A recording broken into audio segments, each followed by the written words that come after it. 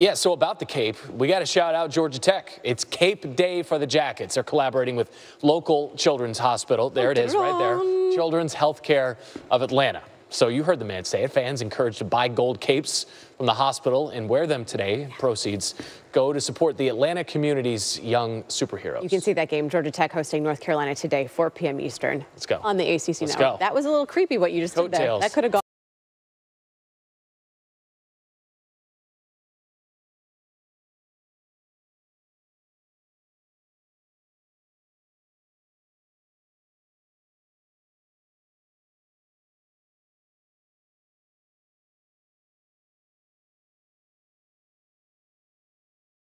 Time bomb waiting on us. He joins us now. Look, Paul, we've got both. Paul, by, by the way, we have both uh, 5 and 0 teams in Auburn and Florida. When you look at the SEC, which one of those schools has a better chance to, to challenge the traditional SEC powerhouses?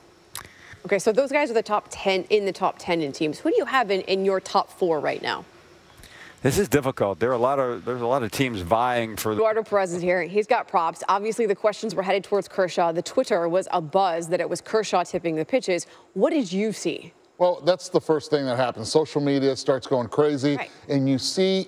The, the, the key is you see uh, Turner talking to two guys. Who are they? Eaton and Rendon. Off the end of the bat, but the launch degree was 11 degrees. So that tells me right there he was out in front of it because he was looking fastball, looking middle in, cheating to get the barrel out, and he was fortunate enough to get a base hit on that one. Quickly, how does this play out as the series continues? Well, it's just Pedro Baez is going to have to make guy. a major, uh, a little adjustment. Not everybody can see it. Some guys.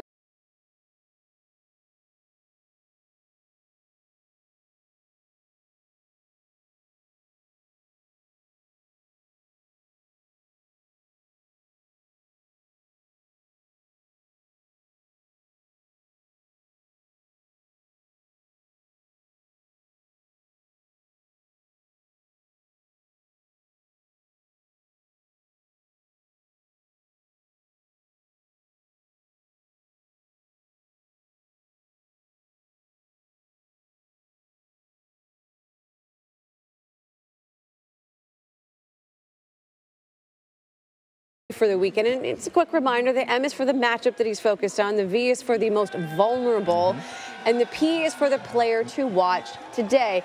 Desmond, give me an M.